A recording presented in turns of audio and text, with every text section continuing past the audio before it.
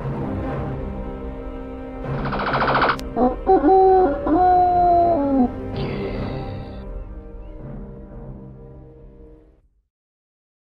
Hello everyone, my name is Nick. I hope you're well and we're on the ZX Spectrum 48K. We're going to have a look at a game called Disco Dan, published by Gem Software in 1984. Now it's quite a strange one this because although it's called Disco Dan, it involves no dancing at all and I'm not even sure the guy's called Dan.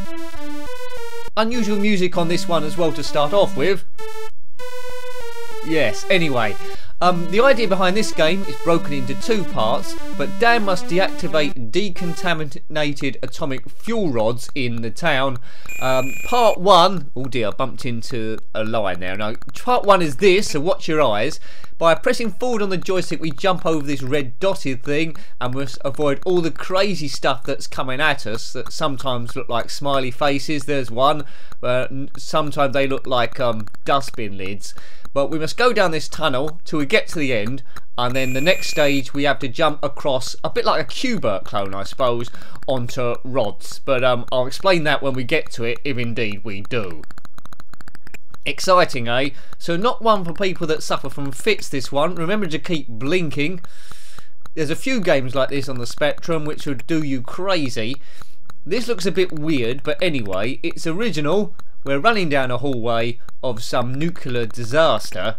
I don't know who decorated this hallway, but some loony who probably got cheap magenta paint. But anyway, the tunnel never changes colour as far as I'm aware. We just keep going round and round and round and it gets more and more difficult in these two parts. Disco Dan! Play your own disco music. Right, there's the end. Boom. Now, now the Q*bert bit. Right, okay. Now, all these discs have got numbers on, you will see. There's some sort of strange, crazy isotope thing up the top there I can fire to get to move along. He's trying to make everything go red and I'm trying to make everything go green. Now when I jump onto one of the discs you'll see the number goes down by one and you can represent it by the colour chart up the top there. So 5 is white, 6 is red, once it goes to red completed we lost, once it goes to green completed we've won that one and by the end of the game, as long as I haven't lost all my lives by jumping on a, a red disc that's already um, finished, if you know what I mean, uh, it tell us who's won. So I've been making a pig's ear of this while I'm trying to explaining it to you. But yes, you need to hop around here as quickly as you can. So I've already lost, well, five red discs there. I've jumped on a red disc that's already got no numbers on and that means I'm doomed.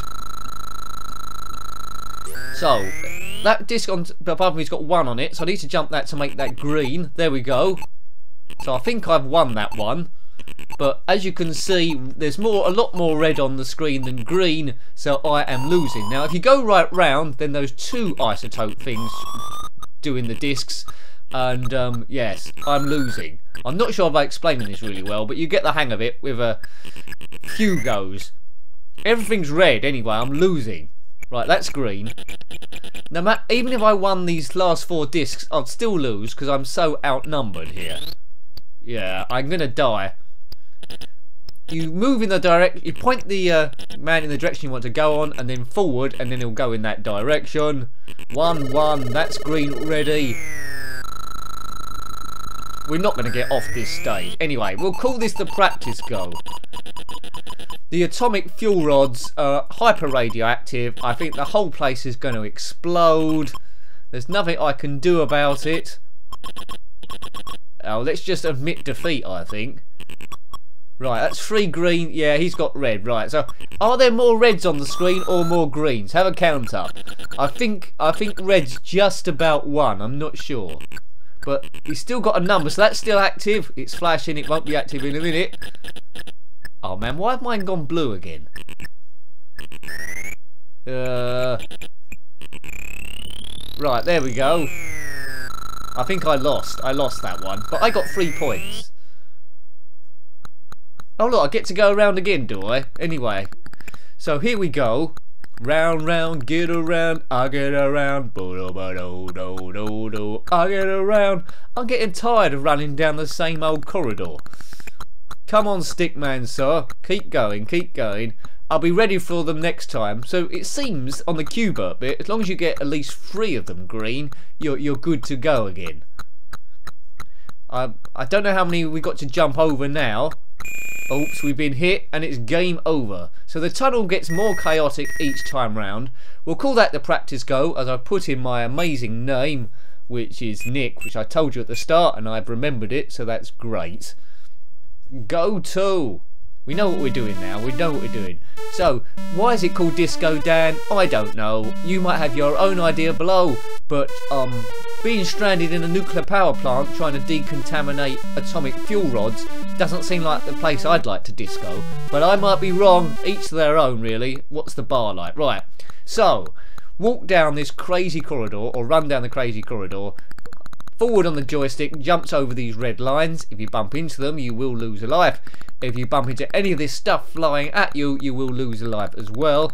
Doesn't animate too badly here. If I had this game back in the day as a kid, I think it would have kept me entertained. Having the two levels, it's quite nice. This stickman had been Horace instead of a stickman, I'd probably be raving about it like crazy like now, right now because I am very um, biased when it comes to that Horace dude. But it's a stick man. Disco Dan. This might have come from a recommendation. I think I wrote it on the list quite some time ago. So if you recommended it, then well done you. Here it is. It's not a classic game, but I think it's quite good. I quite like it. There's not much to it. Has ripped off Q*bert a little bit here, but I'm glad they just didn't have Q*bert and nothing else, and they got this bit as well. So as a kid, you would have felt that you're making some sort of progress. Does get progressively more difficult it starts off easy enough, so that's a big thumbs up from me. A lot of Spectrum games started off way too difficult to um, to, to begin with, to be honest. Right, so let's try and win this thing now. Let's get more greens than reds. We're only against one of these isotope things, so we should be able to beat them. Check out that bar up the top there. If it's nearer, if it's all the greens showing, it's basically a bar representing the battlefield who's winning. Whatever's left at the end we get as a bonus and we want the biggest bonus as possible. Right I've already got one green unless he deactivates that. There's one thing that's going red there. He's got two going red. Oh anyway he might have those unless we can land on them quickly. It's hard to point the direction. No that's flashing that red one. Right he's got that oh man come on let's keep stuff green keep stuff green Keep stuff green. Right, it's three, four green. Oh, that's gone white. That's, oh, man. I've got hit by radioactivity here. I don't think this is my kind of game, folks. I'm just going to keep moving. Hopefully I'll get lucky. Come on. Come on. Don't stop moving, S Club 7 said. Oh, man. Don't keep doing that. Lost a life. Come on, Disco Dan. More discoing. I don't think he'd survive very long after this. We could try and get a surprise victory out of this. So, do you understand what's going on? If you don't, let's recap. Each of these discs has got a number on it. So say it's got four on it. When I jump on it, it will go to three. So see those yellow ones? If I jump on that, it will go um, purple next. I need to get it to zero to make it to go permanently green, while this isotope thing is trying to do the exact opposite and to make everything go red. Once everything's either red or green, it'll work out how much stuff is left in terms of that bar at the top, and we get a bonus. Any clearer? Well, I, I don't know how else I can explain it. Read the instructions. This thing can be chucked on its way by firing at the thing, but you can't kill it completely. Oh man, you lose energy if you land on a red thing. Well, you lose your potential bonus, I should say. Sound on this is a little bit annoying, but we're doing a lot better than last time. Come on, just keep going backward and forward. We can land that. What's going on now? Oh, I, I lost lives, did I? Right, okay, so we've got a whole new bar now. Exhausted that before. Right, that's all green up there. Good, right. Let's green up, as they say. Oh, man. It's quite frustrating this now. There seems to be an overtaking of red sit. Oh, to God, my word. Get me out of here. Curse you. Right, okay, come on. Let's get to the end of this thing. Send him on his merry way. So put him there. There's only two... Oh, man. There's only two left in play at the moment. Right, that's it. Come on. Get that four to a three. Three. Get it to a two. Yes. Get off here. Get it to... Come on. Get it to one. Right, get it to zero. That's that's what bonus I've got left. And it's back to the tunnel, folks. To the tunnel. Exciting stuff, eh? I don't think this has been made into a film. So now there's more stuff coming down the tunnel, heading towards us to try and kill us. But Disco Dan uses his disco feet, and he will be victorious again, or he might die on level 2. Now, if you had this game back in the day, let me know how far you got. Let me know if the tunnel does in fact change colour past a certain distance. I'll be very interested to know that one. I'm not quite sure what other systems it come out on. 1984 probably come out on the Amstrad CPC and the Commodore 64, but I do not know that for definite, or if it come out on any other 16-bit systems. It's a it's a bit of a curio this one. I'd have liked to have had it in my collection back in the day. I wouldn't have been too disappointed if I've actually bought this with my pocket money because it is quite interesting. Right, quick glass of water before I lose my voice. Weaving, that's what it's all about. Backward, forward. Kids wouldn't like this nowadays, and I don't think there'll be an HD remake. Some people might think, Nick, I thought this was the HD remake. Well, surprise, surprise, no it isn't. Uh, this is still the 8-bit ZX Spectrum. Hooray! And we've got to the end of the tunnel again. Back to Q*bert territory. Come on, Q*bert. And now you'll see there's two of these isotope things to try and turn the things red quicker than I would like. So we've got a game on here. Bumping into them won't kill you, just landing on red's discs will kill you. Come on. I mean, it starts off in their favour with lots of lots of white ones around. That's only one away from red. Come on, lad. This is real disco. Maybe it's called disco because it's like Saturday Night Fever where the floors floor lights change colour when you step on them, perhaps. I don't know. It happened in that Michael Jackson video as well, didn't it? Billie Jean. Dun dun dun dun dun dun dun dun. I don't think this game had Billie Jean in mind. Right.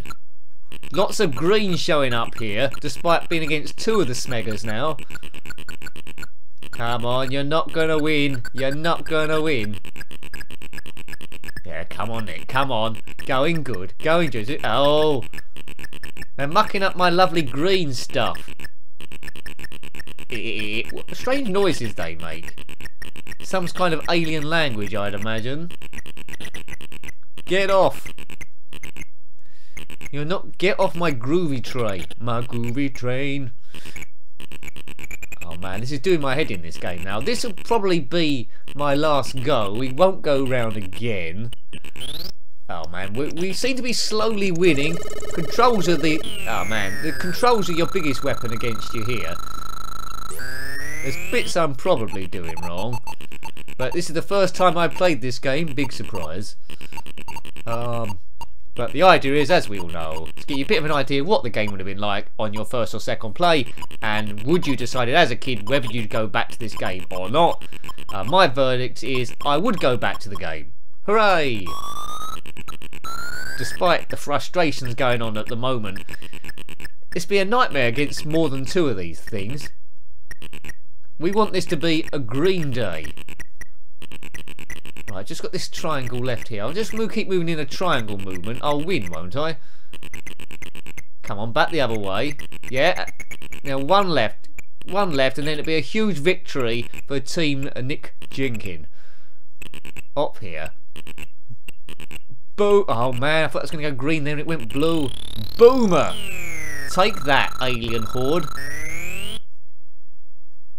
Yeah, radioactivity is quite dangerous, so I, I wouldn't mess with it if I was you. Probably best to do something else. Jump. Good. He's flying along. Quicker than Usain Bolt. Oops, avoid that mob. The smiley faces are a bit like a homing missile in this one. They will look out for you and try and get you. I don't know if you work in a nuclear power plant. Uh, is life a bit like this sometimes when it goes mental? Oh, it's game over again. Well, I hope you liked having a look at that one. I enjoyed it. It was Disco Dan, which involved no discoing, on the ZX Spectrum 48K, published by Gem Software in 1984.